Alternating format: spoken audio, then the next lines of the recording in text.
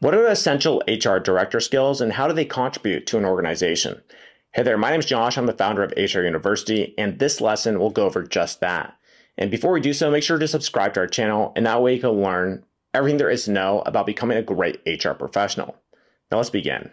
First, we'll go ahead and break down the crucial skills into multiple sub skills category. So, a great HR director needs communication skills, strong leadership skills, and management skills. And HR directors also need problem solving skills, digital skills, and interpersonal skills. And we'll go ahead and start with communication skills. So, an HR director must have excellent communication skills, say the least.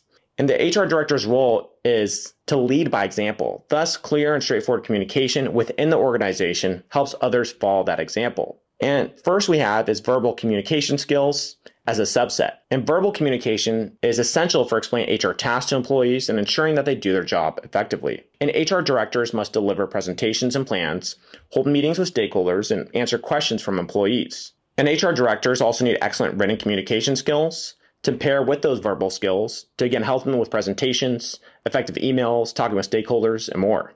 Next, HR directors must have strong leadership and managerial skills, as it is a leading role. And strong leadership boosts work productivity and employee engagement. Furthermore, excellent leadership skills help the HR director position themselves as someone to follow. And that means being a role model. And role modeling means paving the path for junior employees to learn behaviors and work ethics. And next, we have coaching and mentoring.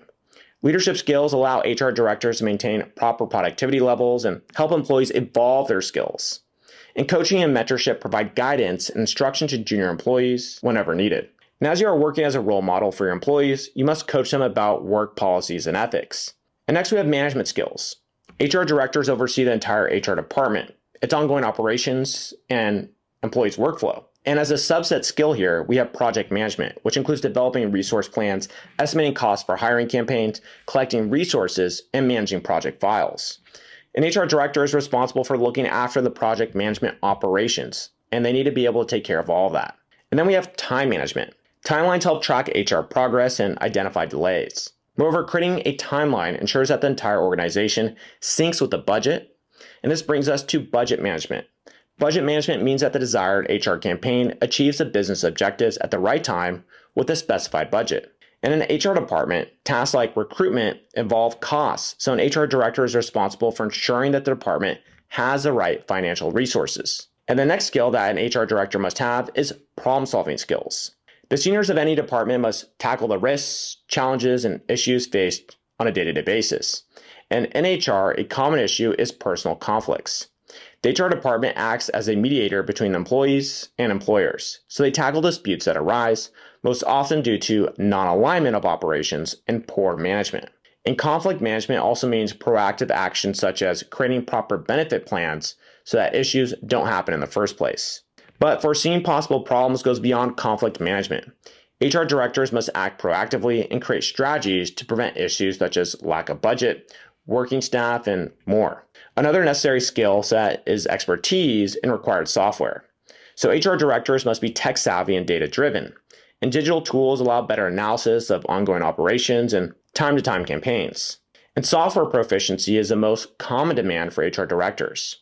Required software might be project management, data analysis, and recruitment solutions. Another vital tool here is HRM software. As an HR director's role demands good management skills, thus, a sound understanding of HRM software is also crucial. HRM software allows HR directors to analyze the workspace and make proper decisions that are adequate and on time. And finally, we have interpersonal skills. Interpersonal skills are necessary for communication, employee empathy, and listening, and also negotiation. Trusting employees is crucial as it boosts their confidence and leads to better results. Thus, an HR director must trust employees and create mutual trust in employees. And last year, we have listening skills. Listening to employees is another way of showing empathy. And trust matters, but to give more respect to employees, listening also matters just as much. And that's what also helps build trust. And when you understand employees from a senior position, such as the HR director, you show how much the organization values its employees. And ultimately, you build respect and confidence in your coworkers. And now that you're aware of the skills, let's take a brief look at the steps to become an HR director and how those skills play into that. So, first off, you need to be qualified, and that means becoming a certified HR professional because certification will ultimately increase your chances of winning the seat and give you foundational knowledge in many of the different aspects of HR.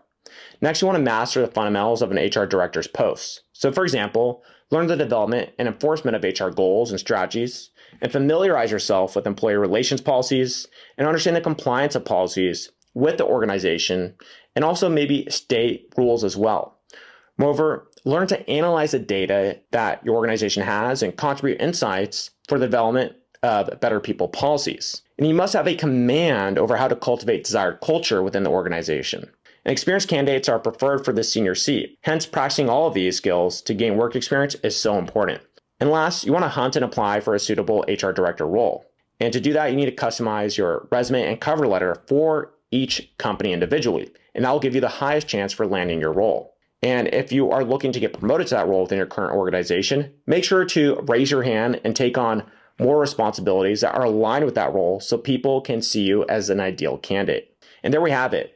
We just went over common HR director skills that are also essential to perform on the job and make sure that you can lead an organization effectively.